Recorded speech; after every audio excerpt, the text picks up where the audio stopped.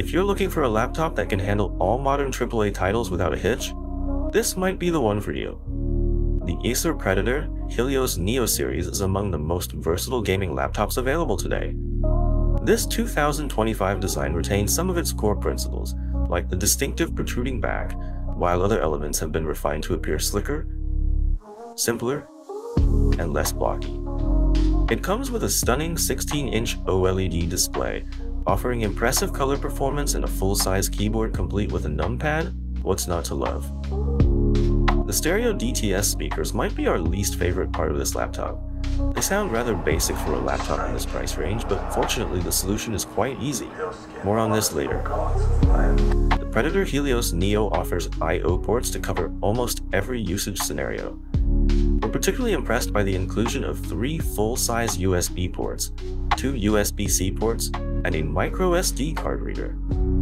Most of these are USB 3.2 Gen 2, with one full-size USB port being USB 3.2 Gen 1. This laptop is powered by the Intel Core Ultra 9 275HX processor and the GeForce RTX 5070 Ti.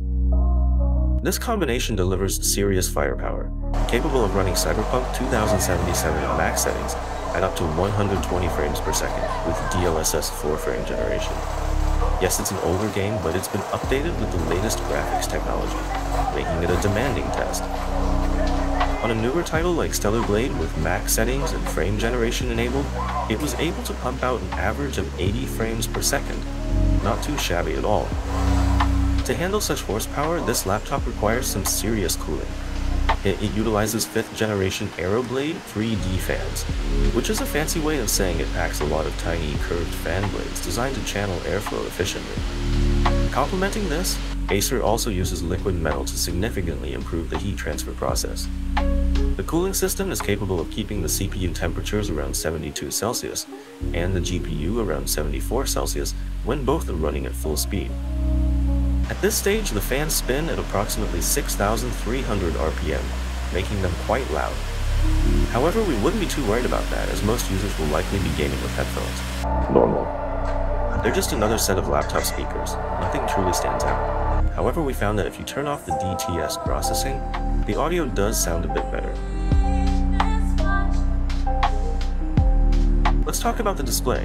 This 16-inch OLED panel boasts a 240Hz refresh rate and is HDR 500 True Black capable.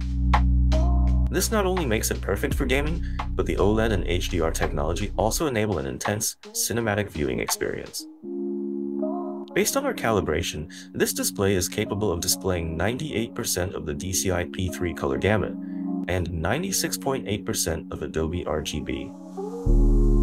Pairing this with the beefy hardware and the convenient microSD card reader, the Predator Helios Neo transforms into a powerful content creator laptop. That's about everything we have to say about the Predator Helios Neo 16S AI for now. If you want to know more, be sure to check out our full written review. The link is in the description below. Until our next video, I hope you are well.